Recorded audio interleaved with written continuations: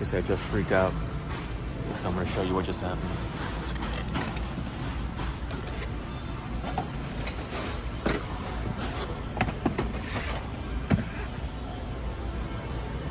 I'm freaking out because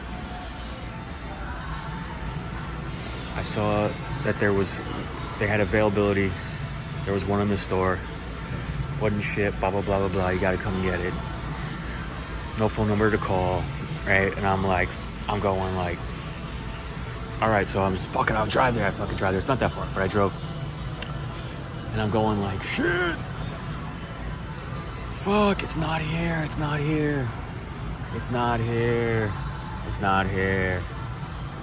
And I'm just moping around. I'm looking at this fucking 75 gallon going like, look at this fucking thing. Look how dirty it is, right? And I'm like, fucking over here. I'm just looking I'm going, ah. I was even looking at this too. I was like, well, this is fucking cool. And all of a sudden I'm like, no, no, no, no, no. And then I fucking look in there and I go, no. Holy shit.